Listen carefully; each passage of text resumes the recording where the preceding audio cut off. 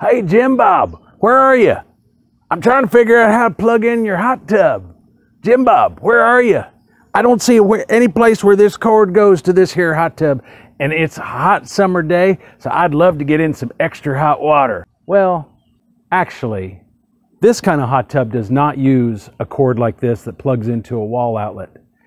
And that's actually what we're talking about today in this video, is the difference between 110 volt hot tubs and 220 volt hot tubs like this one. We're getting into all of the details, and 110 volts are the kind that you just plug into a wall outlet, but not necessarily any wall outlet. So let's get into it, but first I think I need to change a little bit. All right, that's a little better. And before you accuse me of making fun of Texans, I was born and raised in Texas. I may not have that accent now, but I definitely had a little bit of one when I was growing up. So I'm just out for having good fun. But we're talking about 110 volt hot tubs and the difference between 110 and 120. To make it even more confusing, sometimes when you're Googling this, you see 120 or 240. So ultimately, it doesn't really matter that much I'm not an electrician. You probably don't want to be an electrician. Therefore, the nuances we don't really need to know. 110 or 120, whatever you want to call it, plugs into a standard wall outlet. A 220 or a 240 has to be hardwired by an electrician to a disconnect box, which then connects to your main breaker panel. So why would someone want to buy a 220 volt hot tub that requires an electrician to wire it to a disconnect box, which then gets connected to your breaker panel, potentially costing you hundreds, maybe even thousands of dollars? The previous house I lived in, where we bought a hot tub and we had it hooked up, we didn't pay attention to one critical thing in the electrical connection of our hot tub, and I got quotes as high as $3,000 ended up still spending almost $800. So if you haven't bought your hot tub yet and you're not sure how you're going to connect yours, you're going to want to hear that story. So stick around. I'm going to tell it in a minute. But anyway, a 110 volt hot tub just plugs into a standard wall outlet. It does need to be at least a 15 amp breaker, if not a 20, but most household outlets are indeed a 15 amp breaker. That means you can just get the hot tub, set it where you want it, and plug it in, turn it on, and it's good to go after you've treated the water. This is going to be a lot more complicated. So that's one of the reasons why people prefer sometimes a 110 volt hot tub. Now, some of the potential downsides of a 110 volt hot tub are that it doesn't typically have as many jets and water features as a 220 volt does. Mine has a lot of jets and two waterfalls and an LED light system, and you're not going to find as much of that on a 110 volt hot tub. Why? Because as you might guess, it doesn't get as much power as a 220 volt does. The outlet doesn't provide it as much energy to run everything as this kind does that gets hardwired in. So typically they're, they're lower frills and lower price though, but don't have as many features as the fancier, more expensive 220 volt hot tubs do. One other thing I wanted to mention is that no matter which kind of hot tub you get, this kind or the kind you plug in, it needs to have what's called a GFCI breaker. That stands for ground fault interrupter circuit or something like that. Again, I'm not an electrician and I don't even play one on TV. But no matter which way you go, it's got to have one of those. I'm going to link up one of my other videos that dives deep into that subject in the description of this video, you'll also see a card for it at the end of this video. So if you're not sure how to hook yours up and what kind of electrical connections you need, check out that video for sure. The last thing I wanted to mention about 110 volt hot tubs compared to this kind are that because they don't they're not able to get as much electricity as a 220 volt is, you can either run the jets or the heater, but not both at the same time. And that's not necessarily a make it or break it for me, but if you were going to use the hot tub for a long period of time, you might start to notice the temperature dropping because the heater hasn't kicked in if you've got the jets going. So just be aware of that when you're making your decision. Hi everyone, my name is Jeff Campbell. This is my channel, Hot Tub Owner HQ. I also have my website, hottubownerhq.com, and both here and on my website, I get into all of the best tips, tricks, hacks that I know from having owned four different hot tubs over about the last 15 years or so. I'm not an expert, I'm not a hot tub salesman, I'm not trying to sell you a hot tub. But I've just made a lot of mistakes along the way, and I want to save you the hassles and the headaches of some of the mistakes that I've made by sharing my tips with you.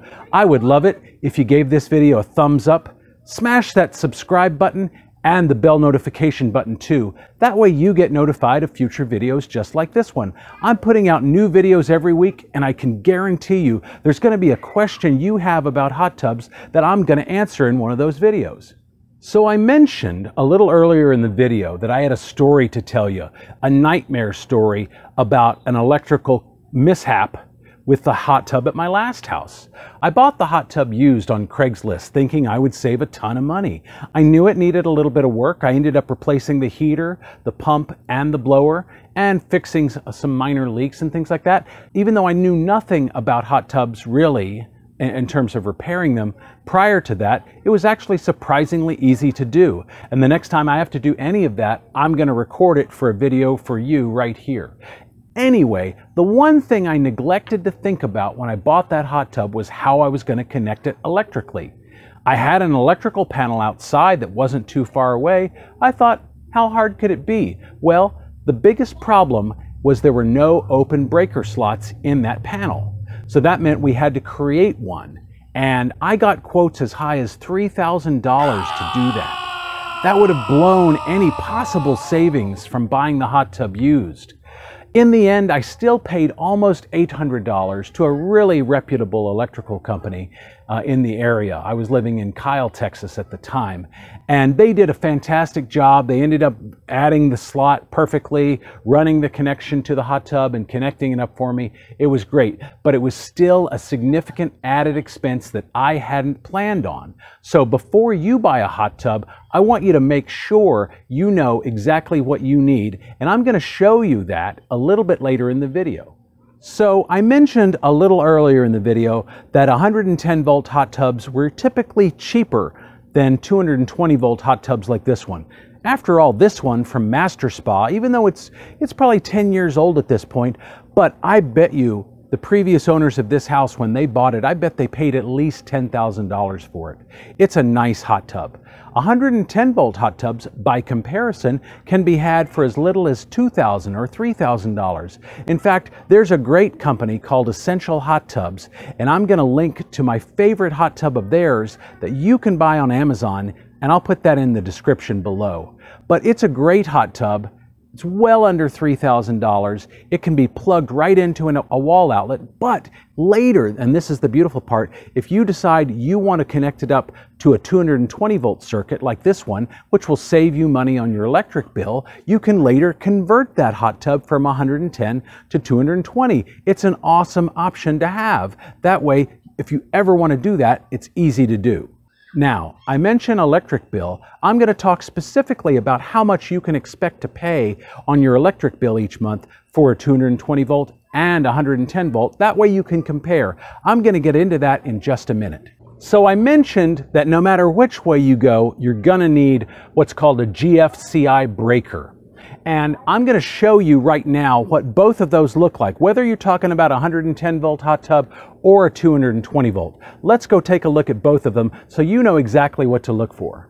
Okay, so this is the disconnect panel on my hot tub. It's located within just a few feet of the hot tub, but not close enough so that somebody could reach it while in the hot tub. That's for safety purposes. Let me go ahead and open the lid for you so you can see the GFCI breaker inside.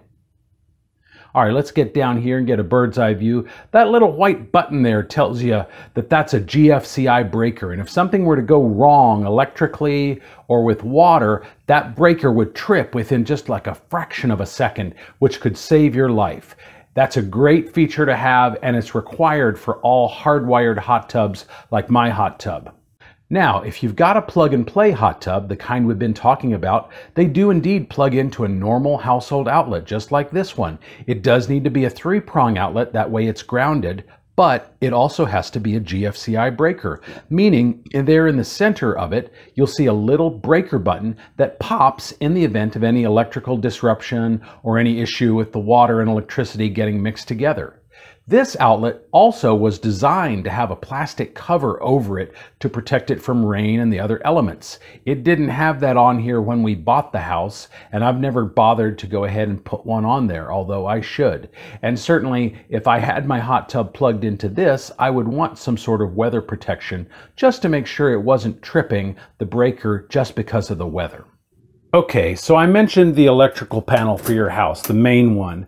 I actually don't have one on the outside of this house. I did at my last house where I ran into my electrical issues. This is my main breaker panel for my house. And as you can see here, I already have a hot tub and those breakers are right there where it says spa. If I was adding one to this panel, you can see down here I only have one slot left, one open slot. That could be a problem because you see how big this breaker is for the hot tub. It's a double 50 amp breaker. So again, if you're about to add a hot tub, it's a great idea to take a look at your breaker panel and make sure you have the space. So I mentioned that my favorite plug-in hot tub that you can get on Amazon for under $3,000. And again, that's linked in the description down below. I mentioned that that can later be converted to a 220 volt hot tub, which is a great option to have. And you're actually going to find that many of the 110 volt hot tubs that are out there can be converted. That saves you money on your electric bill when you decide to do it. It also enhances the hot tub itself. It gives more power to the hot tub. So that's also a plus as well. So I mentioned how much a hot tub is going to run you on your monthly electric bill. For a hot tub like mine, which again is a 220 volt, the kind that's hardwired in, I pay probably about 20 bucks a month more on my electric bill than if I didn't have it at all.